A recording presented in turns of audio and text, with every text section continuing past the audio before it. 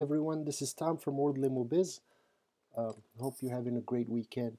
Um, this video, I'm going to show you how to create your own A Google API.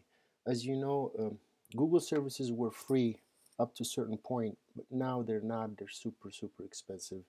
And uh, we were going to keep using our own API, but it's getting too expensive for us. But I, we thought instead of increasing your subscription fee, we could just show you how to create your own API and it will be free for you guys because um, if each company will have their own API, it will be free for everyone. But if you use one API, there is a lot of pings on, on our API. That means we're going to have to pay a lot of money.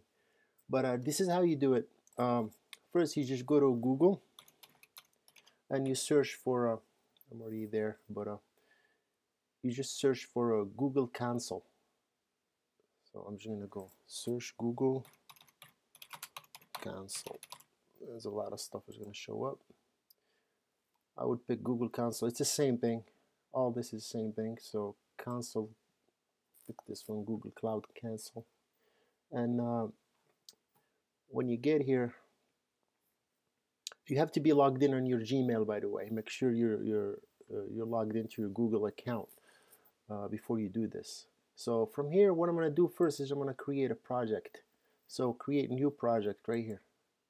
And I would call, you can call it anything, but just I would call it your company name.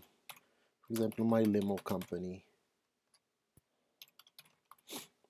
It's not really uh, important what you call it. Okay, so we created a project. Now we're going to go find these APIs. So we're going to go here, we're going to create, go to library okay. Library and here what project? You're gonna select the project which is my limo company. There you go. I'm just to select it. There you go. It's gonna show up here.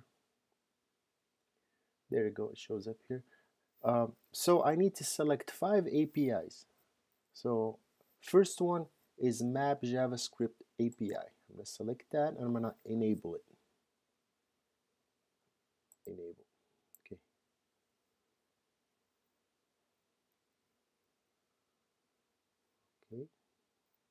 let it work let's go back again to the library.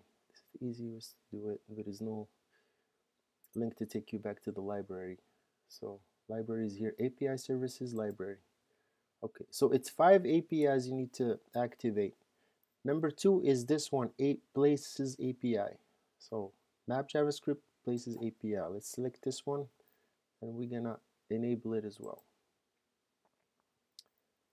Perfect.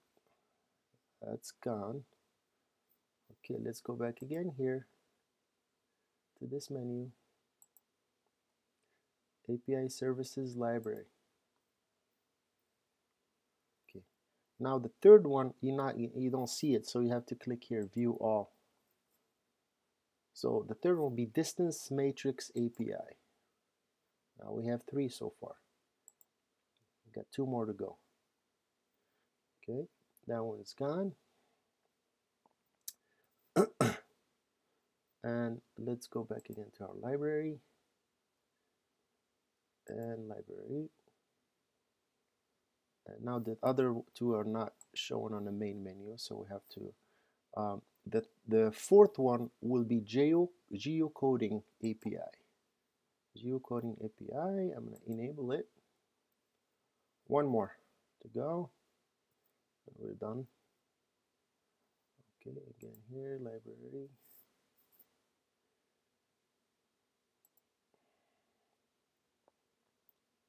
as you can see we're still under this same project.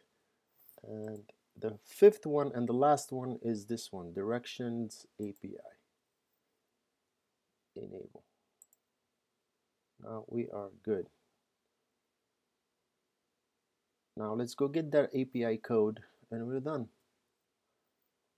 Okay so grab that API you go here you click APIs sorry let's go back here and do API services credentials right here. Credentials right below library. Create credentials API key. And this is your key. You click here and it's gonna get copied. See? now what you need to do you're gonna go to your system to word based system and we created an input for you. So I'm gonna grab this page so this is uh, the company. So you go to your settings and you're gonna go to this one date and time format. That's where we were able to put it. We didn't have time so we just put it here. And you just copy and paste that code right here. And you hit submit and that's it. And you're done. Um, yeah so uh, you might want to give them your credit card. There will be a uh, I already did so there'll be a button that you have to activate it. It's they need your credit card. They don't charge you but you need to give them uh, your credit card. Uh, that way it'll be free for everyone. I would really really appreciate it if you guys do this. Otherwise we're gonna have to increase increase the fee and we don't really don't want to do that. All right. Hope you guys have a good weekend. Any questions? I'm available today. I'll talk to you later. Thank you